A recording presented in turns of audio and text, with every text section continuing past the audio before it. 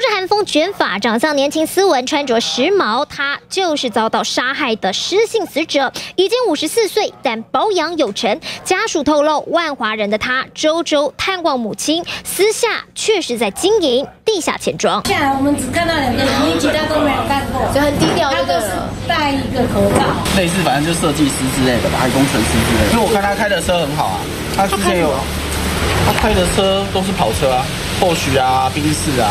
附近邻居对他的印象都很客气。两年前租下新北市泰山区这处公寓，当做住处，也兼做放款公司。他还为员工在桃园龟山租下宿舍。但六月人间蒸发，家属着急在网络寻人，最终却是得到残忍消息。为什么要杀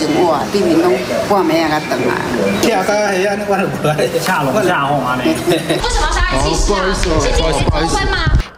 地检署，陈姓嫌犯一句话也不吭，而唐姓嫌犯同样不说话。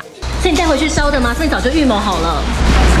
唯一承认犯案的江姓嫌犯默默道歉。死者今年就察觉账目有异状，短收数百万，他私下调查。不过今年六月查账时挪移公款，就此曝光。三名嫌犯否认，疑似就此种下杀机，选择埋尸在自家的江姓嫌犯阿公和金伯得知消息不敢相信。你工厂的？你知影佢只在工厂？对啊，我唔知你做啥工作，我无了解。乖是有乖啊。这个本来真乖真乖，咱讲实的。我我听到呢，我嘛感觉不可思议。那有时去用。